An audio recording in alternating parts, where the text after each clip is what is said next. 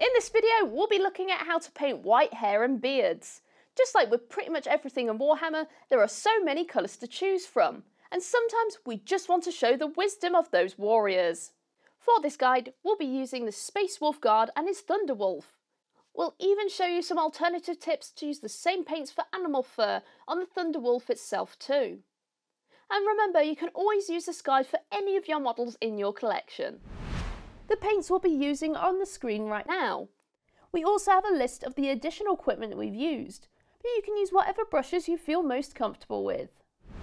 And if you're new to painting and want to brush up on your skills, you can check out the Citadel Colour Painting Essentials videos to learn all about paints and painting techniques. For our undercoat, we'll be using White Scar, so our hair, beard and fur has a great bright starting point for all our paints.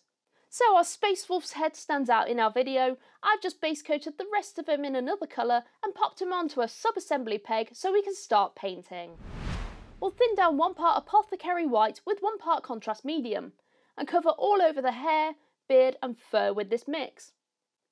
For the hair and beard, we'll use a medium layer brush, as it will give us control, and a medium shade brush for the Thunderwolf.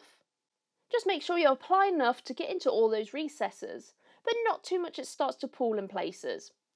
But if it does, just take a clean brush and remove it before it dries. By adding this light mix to all of those recesses, it will give our hair some texture and shadows. Even the whitest of hair will still have some darker tones in it. The slightly blue tone in Apothecary White will make the hair look even more natural, rather than a dull grey tone. Next, we'll thin down one part Fenrisian Grey with three parts Lahmian Medium, and add that to our recesses. As this is similar to our first step, we'll be using exactly the same brushes for both details. As it's so thin, we can apply it all over, as it will run into those gaps, hairlines and recesses nicely. By starting with a light undercoat or base coat, and darkening it down bit by bit, we can control more of those shadows and where they sit. This will give the hair and fur a little bit more colour, so when we start highlighting it, we will still keep some of those shadows underneath. And now to make this colour brighter again, for this we'll be using Corax White. For the hair and beard, we'll just start by highlighting the raised areas with a small layer brush. We want to make sure that we keep those recesses darker, so each little line we apply creates the formation of hairs. So make sure your brush is pointed by twisting and rolling the brush on the palette. This can also help us control the amount of paint that we have on our brush, making sure we don't smudge or drop too much paint into those nice blue-grey recesses. For the fur, we'll be using the same colour, but dry brushing it onto our Thunderwolf. We'll be using circular motions to pick out all of those tufts of fur and hair, giving them a brighter tone. Check out our Painting Essentials dry brushing video if you want to learn more about dry brushing.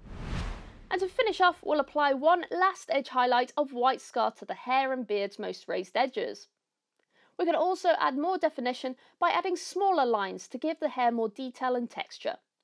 But if you don't feel like doing this, you could just stick to the main highlight points. With the fur, we'll do one more dry brush, focusing on the high points like the shoulders where our Thunderwolf is super fluffy. We can also use the same highlighting technique for the hair too around the face or any areas that have finer details. And there we are! Our Space Wolf's hair and beard and Thunderwolf's fur is looking silvery, wise and somewhat fluffy. We just added a bit of Guilliman flesh so you can see that hair and beard even more.